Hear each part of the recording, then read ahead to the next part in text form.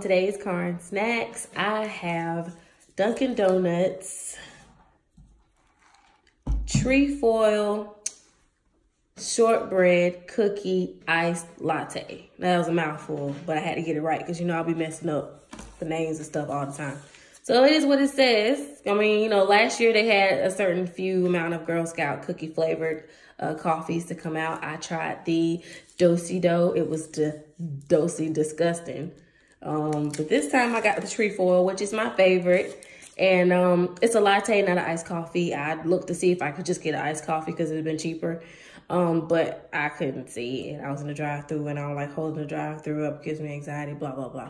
So I got the iced latte and I didn't ask for cream. I didn't ask for sugar. I just assumed it was already going to be sweet with the syrup. Let's see.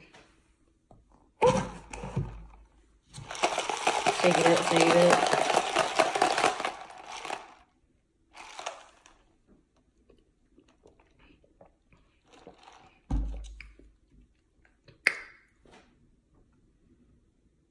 That's good.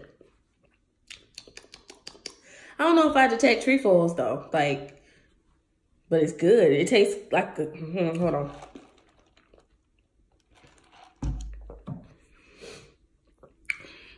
Yeah, I don't know what that is. It's just flavorful.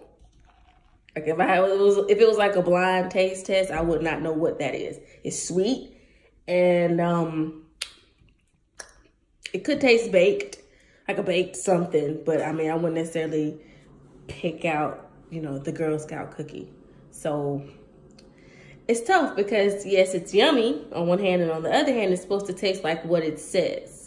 And so I can't grade it super high because it doesn't taste like what it says. I'm gonna give it a six out of 10. I'm also going to finish it.